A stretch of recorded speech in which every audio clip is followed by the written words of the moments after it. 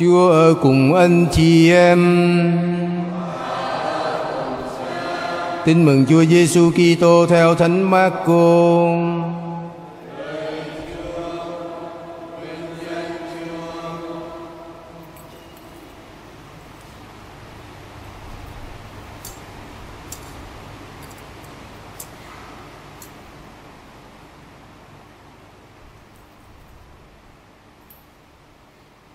Khi ấy Chúa Giêsu cùng các môn đệ đi về phía những làng nhỏ miền Cesare thuộc quyền Philippe.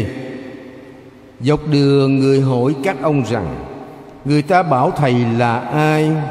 Các ông đáp lại rằng, thưa là Gioan Tẩy Giả, Một số bảo là Elia, Một số khác lại cho là một trong các vị tiên tri Bây giờ Chúa Giêsu hỏi, còn các con Các con bảo thầy là ai?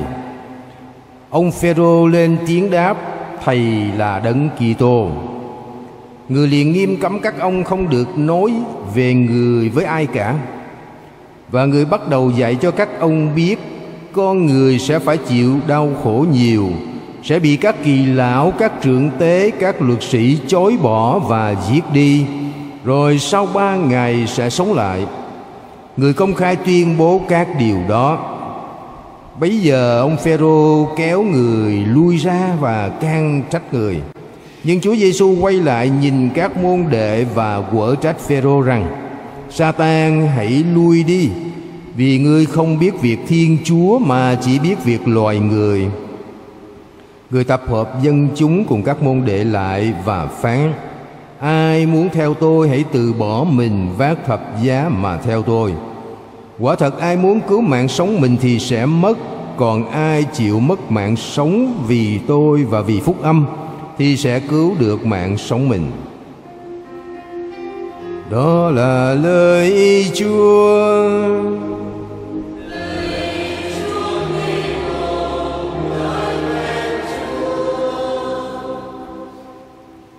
Thầy là ai? Đó là câu hỏi mà Chúa Giêsu đặt ra cho các môn đệ sau một thời gian mà các ông đi theo ngài, đã nghe lời của Chúa Giêsu giảng dạy, đã chứng kiến những phép lạ mà Chúa Giêsu đã làm. Thầy là ai? Đó là một câu đặt ra cái đức tin căn bản cho các môn đệ. Các ông cho Đức Giêsu là ai? Thật sự ra trong bài tin mừng hôm nay, chúng ta có ba câu trả lời câu trả lời của những người chung quanh là người ta bảo thầy là ai câu trả lời của các môn đệ mà cụ thể là của ông Phêrô, thầy là đứng Kitô và câu trả lời cuối cùng đó là câu trả lời của chính Đức Giêsu. Cho nên chúng ta sẽ thấy ở đây những câu trả lời nó khác nhau. Khác nhau không chỉ là về mặt gọi là bề ngoài có nghĩa là tùy thuộc cái mối tương quan xa gần giữa con người với Đức Giêsu để biết được Ngài là ai đối với mình. Cho nên chính từ đó mà trong cuộc sống của chúng ta cũng vậy. Cái câu hỏi này cần phải thường xuyên đặt ra cho chúng ta. Trong mọi cái hoàn cảnh của cuộc sống, Đức Giêsu là ai đối với tôi? Thế thì nếu mà Đức Giêsu được coi như là một cái nhân vật, một nhân vật đáng kính, vào cái thời của Đức Giêsu người ta bàn nhiều về ông Gioan Tẩy Giả là một cái con người kiên trung ở trong sự thật. Ngay cả chết, ông cũng bảo vệ sự thật. Và chúng ta thấy là trong xã hội chúng ta đôi khi người ta cũng kính trọng những cái con người đó, những con người dám sống chết cho sự thật, bị bỏ tù vì nói lên sự thật và một cái con người có lịch sử xa hơn đó là ngôn sứ Elia. Đối với những người theo truyền thống do thái thì người ta không lạ gì cái gương mặt của vị ngôn sứ thời danh này. Tuy nhiên thì đó chưa phải là cái câu trả lời đúng đắn. Ông Simon Phêrô cũng như các môn đệ trong cái tương quan với Đức Giêsu thì có thể nói khẳng định Đức Giêsu là đấng Kitô. Tuy nhiên, ở đây chúng ta sẽ thấy nó có nhiều cái vấn đề mà cụ thể là khi mà ông Phêrô lên tiếng đáp, thầy là đứng Kitô, người liền nghiêm cấm các ông không được nói về người với ai cả đây thấy cái thái độ của Đức Giêsu trước cái câu trả lời mà đối với mỗi người chúng ta là cho là chính xác đấy.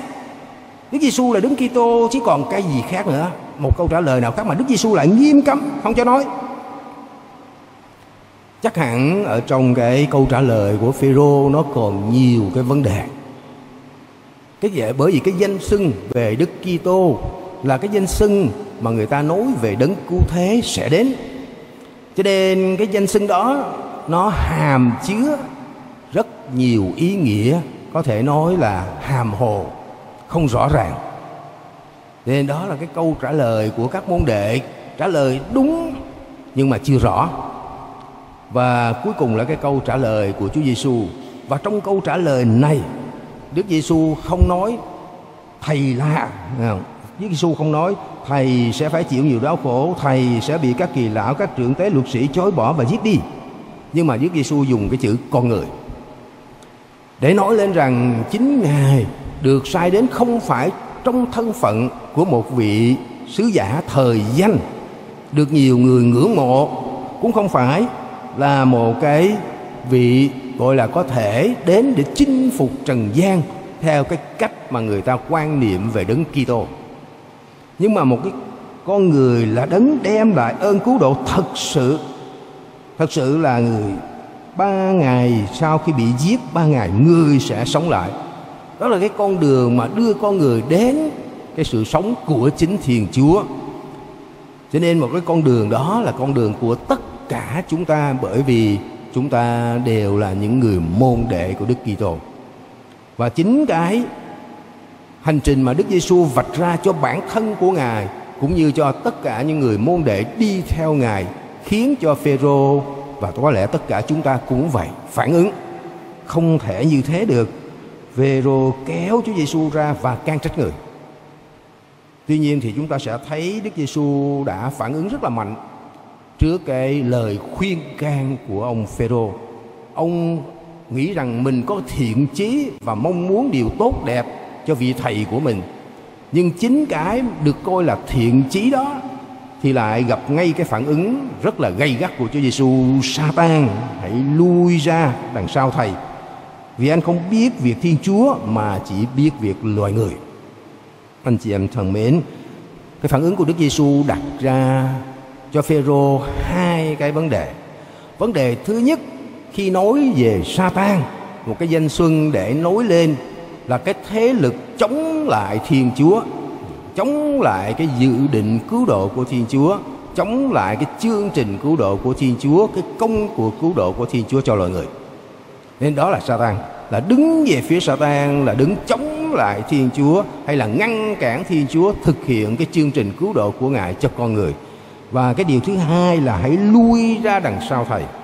Đó là khi mà Đức Giêsu nhìn các môn đệ để đặt ông Phêrô vào cái vị trí của chính ông đó chính là một vị trí của người môn đệ, chứ không phải vị trí của người phán quyết, người đưa ra chương trình cho Chúa Giêsu hành động, mà chính là người phải bước theo hành động của Đức Giêsu. Và cuối cùng thì chúng ta thấy trong bài tin mừng hôm nay Đức Giêsu nói như vậy thì muốn trở thành người môn đệ thật, muốn có một niềm tin thật vào đấng cứu thế mà Thiên Chúa sai đến đó là cái con đường hãy từ bỏ chính mình và vác thập giá đi theo ngài.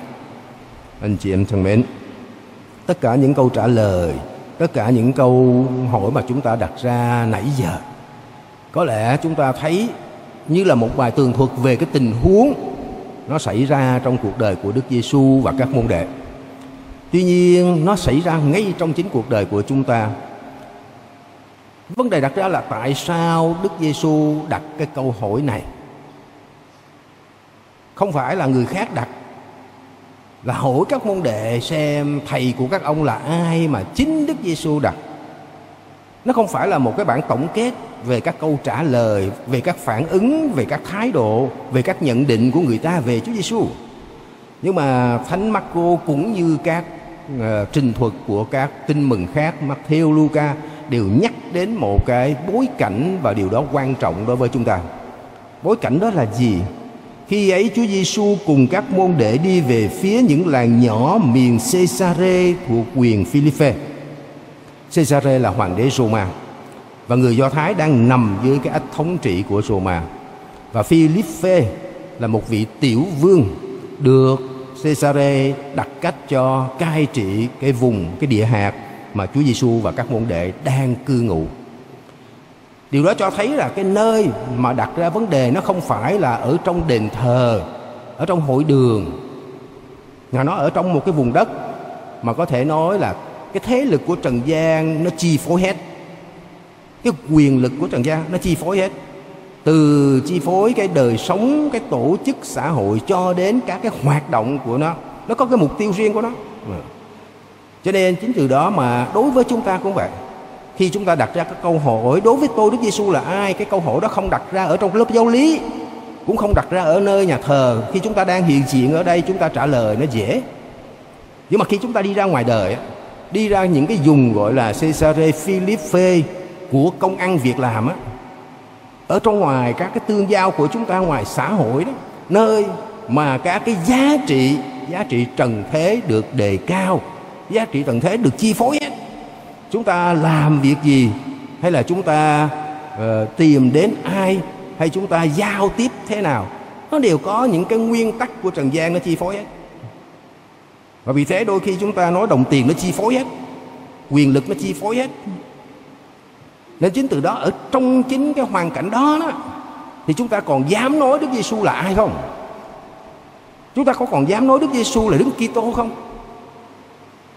và muốn trả lời thật sự Đức Kitô, Đức Giêsu là Đức Kitô thì chúng ta đi như Giêsu nói từ bỏ chính mình, dám chấp nhận để mà từ bỏ tất cả những cái giá trị mà chúng ta đang sống đang bị chi phối đó những cái giá trị mà chúng ta vẫn tiếp xúc hàng ngày đó, nó làm nên cái cuộc đời của chúng ta. Dám từ bỏ cái đó.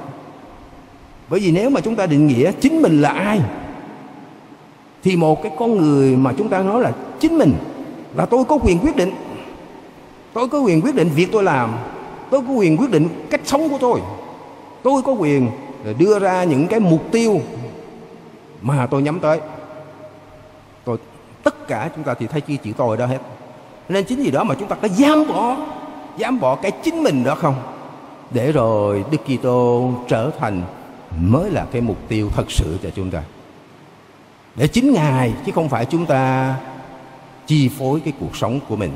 Do đó mà chúng ta sẽ thấy ở đây, không chỉ Phêrô bị coi là Satan, mà Đức Giêsu ngài muốn đặt ông cái vị trí đúng của ông, đó là lui ra đằng sau thầy. Bởi người môn đệ là người bước theo thầy, chứ không phải là người dẫn đường cho thầy.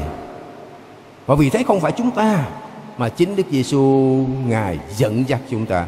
Và để được điều đó, chúng ta phải từ bỏ cái con người của chúng ta với tất cả những cái dự định, cái tham vọng của mình, để chúng ta sẵn sàng chấp nhận chấp nhận đi theo Đức Giêsu cũng như các giáo huấn của Ngài.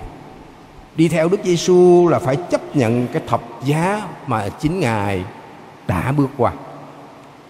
Nên chính vì đó mà ngày hôm nay đặt lại cái niềm tin cho chúng ta để rồi chúng ta đặt lại coi Đức Kitô mà chúng ta đang tuyên xưng trong cuộc sống là Đức Kitô nào. Có những cái Đức Kitô mà chúng ta sẽ thấy người Do Thái vào cái thời của Chúa Giêsu họ đang mong đợi Đức Kitô lắm. Họ mong đợi đứng cứu thế, họ mong đợi cái vị thiên sai đó. Mong đợi lắm. Nhưng mà khi Đức Kitô đến, thì họ coi đó là một cái con người không mong muốn.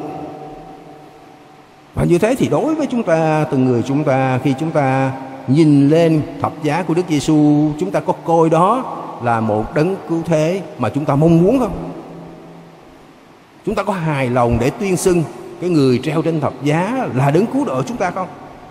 Thì đó chính là cái thách đố cho niềm tin của chúng ta. Và cái câu trả lời nó không nằm ở trong cái quan niệm của chúng ta, ở trong cái lời nói của chúng ta mà chính là trong cuộc sống của chúng ta khi chúng ta cư xử với nhau. Bởi vì chính trên thập giá cái nguyên tắc chi phối của thập giá đó là tình yêu nên nếu mà ở trong cuộc sống của chúng ta không có được cái tình yêu của Thiên Chúa nó chi phối nó thúc đẩy thì chúng ta lúc đó một cái động lực khác một cái động cơ khác nó thúc đẩy cho cuộc sống của chúng ta và nó chi phối cuộc sống của chúng ta vì thế, ngày hôm nay chúng ta xin Chúa cho chúng ta được hoán cải. Hoán cải để rồi trong cái cuộc sống của từng người chúng ta, trong gia đình của chúng ta, thì chúng ta biết hoán cải cái đời sống để cho tình yêu chi phối cuộc sống, mọi hành động, mọi thái độ, mọi suy nghĩ của chúng ta, mọi cảm nhận của chúng ta, nó phát xuất từ lòng nhân từ và tình yêu của Thiên Chúa. Nhờ đó mà chúng ta mới dám thật sự tuyên xưng Đức Kitô ở trong cuộc đời của chúng ta là Chúa của chúng ta, là đấng cứu độ của chúng ta. Amen.